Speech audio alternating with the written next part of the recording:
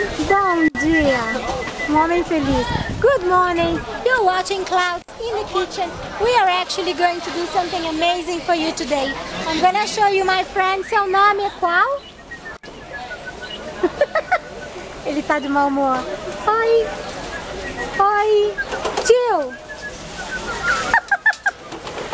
Dá uma raladinha aqui pro povo lá de fora ver como é que o senhor faz. Por favor.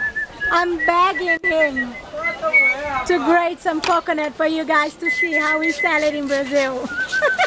I'm actually trying to... Ó. Nada, ele é um mal-humorado que eu já conheço ele há 10 anos, é um inferno.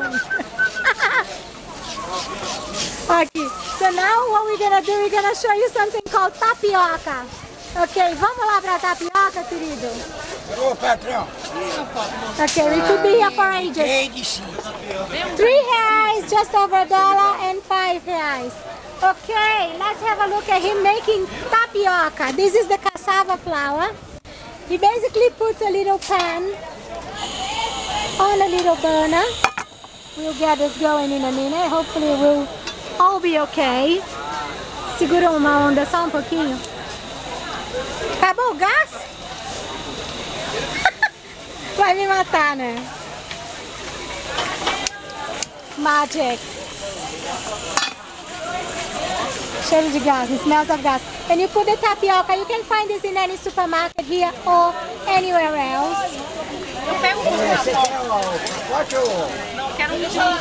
Basically you spread it like this and the tapioca flour itself is gonna settle and become like a pastry. Some people substitute this for instead of bread. For breakfast is amazing. I'm gonna ask for a sweet one that has coconut and uh, condensed milk. Um, meanwhile, whilst he's selling coconut to everybody in the market, I'm gonna give you a spin and show you his stall. So here we have the tapioca flour, which you can also get in your supermarket. We have here something called cocada, which is coconut with sugar, and sometimes I make my own with coconut milk, a little bit. senhor? Gosta? Muito. É.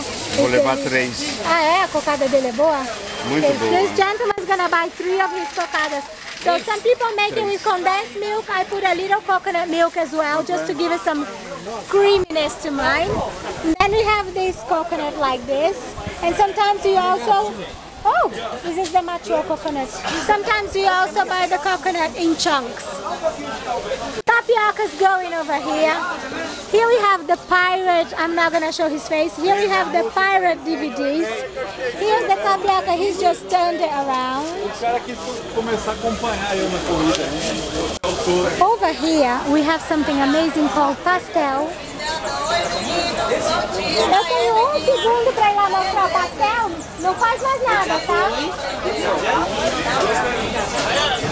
He doesn't talk to me. Ok, tapioca lindíssima. What now? O que, que a gente põe agora? 51, 51. Coco. Tá. Fresh coconut. This is amazing.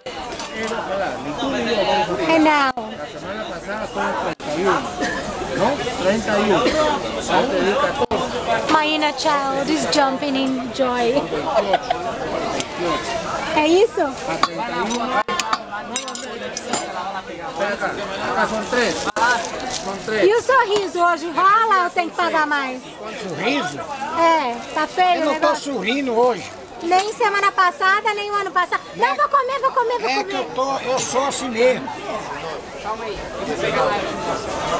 He says he's just like that and he doesn't smile. He actually doesn't. I've been buying coconut from him for about 10 years. I think I saw him making something sweet. Ah, moço, vou abrir. Já te paguei, né? I opened this. Okay, what you get from this is something like this. Sorry. Camera. Action. Okay. This is what you get.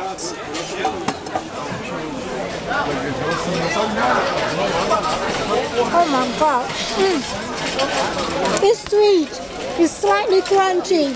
And you get the freshness of the coconut. It's something. Mm, wow. Hang on. It's something that when you come to Brazil for the World Cup, if you're brave enough, you should try. it.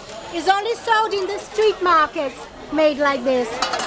Um, but it's well worth it. Some people make it salty with some cheese as well, but mine I prefer with the coconut. Have a good look. I'm gonna, vou deixar aqui moço um minuto. I'm gonna show you something else called pastel that we have in Brazil. If you ever come around, you've got to try this. It's in the street markets generally. Basically, it's a take on the gyoza from the Japanese and the jiaozi from the Chinese. They, they make this pastry and then they fill it with cheese, with meat, or something like that. I'm gonna try and show this lady's pastel for you to see what it looks like inside. Moça, posso mostrar seu pastel? Aqui, só um pouquinho. Okay, dela de carne. Hers is a meat one, and she's put some lovely onion sauce. Thank you, obrigada.